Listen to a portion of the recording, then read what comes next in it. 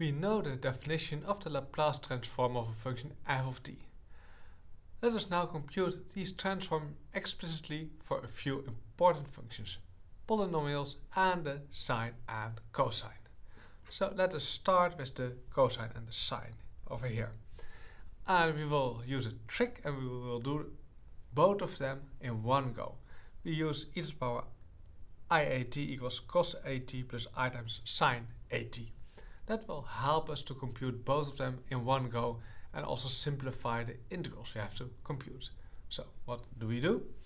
Well, the Laplace transform of e to the power iat, we are going to compute that one because it's the Laplace transform then of cosine at plus i times the Laplace transform of sine at. So once we know this one, we can just take the real part, gives us the Laplace transform of the cosine, and we can take the imaginary part and that will give us the Laplace transform of the sine. So there we go. The Laplace transform of e to the power iat. So what did we need to do? Put the f of t here, multiply with e to the power minus st, integrate with respect to t from 0 to infinity.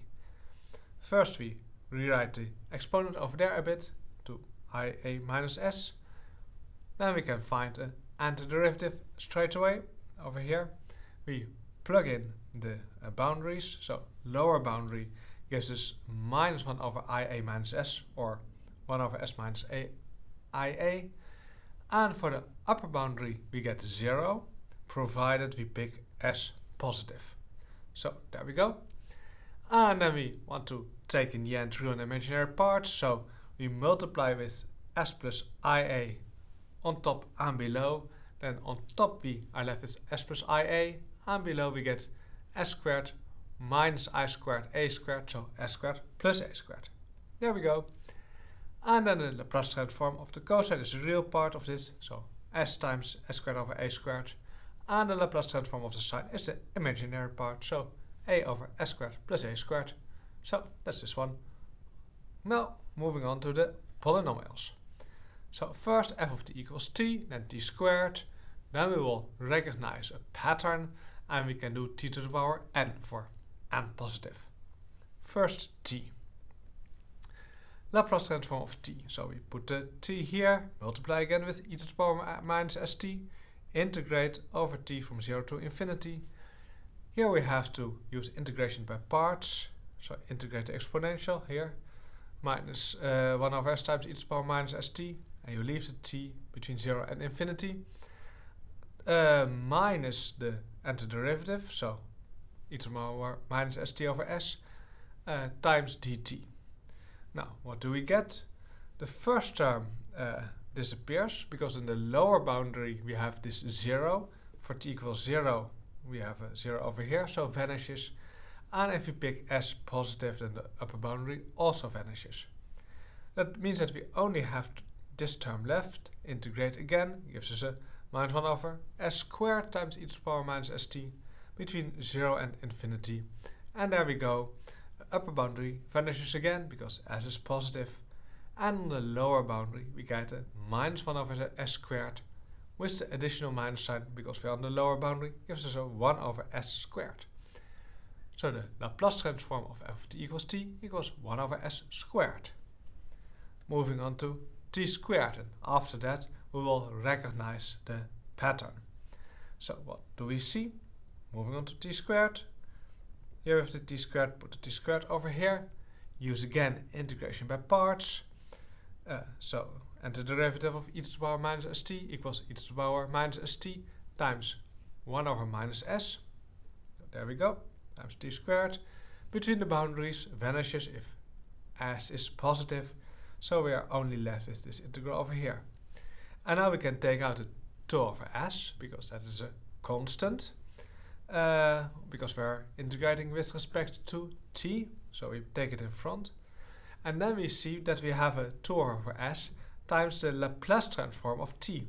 So the Laplace transform of t squared equals 2 over s times the Laplace transform of t. We already know what the Laplace transform of t is, 1 over s squared, so we are left with 2 over s cubed. And now we see the pattern.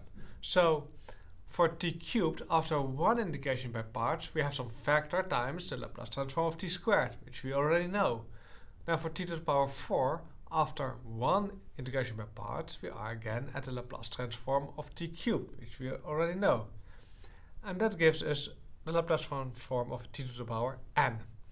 It is uh, n factorial divided by s to the power n plus 1. So why is that? We can show it by induction. So for n equals 0, we have the Laplace transform of t to the power 0, which is 1, which is 1 over s, which we already computed. And then, well, we'll show this explicitly using induction. So we assume this is true up till small n equals capital N. So we assume this expression is true. And then we have to prove that this expression also holds for small n equals capital N plus 1. So that we have to prove this part. Now, how do we do that? Of course, by uh, one integration by parts, because if you do one integration by parts, we go back one step, which is exactly what we need. So if you compute the Laplace transform of t to the power n plus 1, put the f here, and you do one integration by parts, so integrate this term, over here it is, and leave the other one. Again, between the boundaries 0 if s is positive, and you are left with this term over here. You can take out of the integral the n plus 1 and the s, so that's this part. And then the second integral is the Laplace transform of t to the power n, which is given by our induction assumption. So you are left with n plus 1 times n factorial and below by an s times s to the power n plus 1, which combines to n plus 1 factorial divided by s to the power n plus 2, which is exactly what we needed to prove. So there we have the Laplace transform of any t to the power n.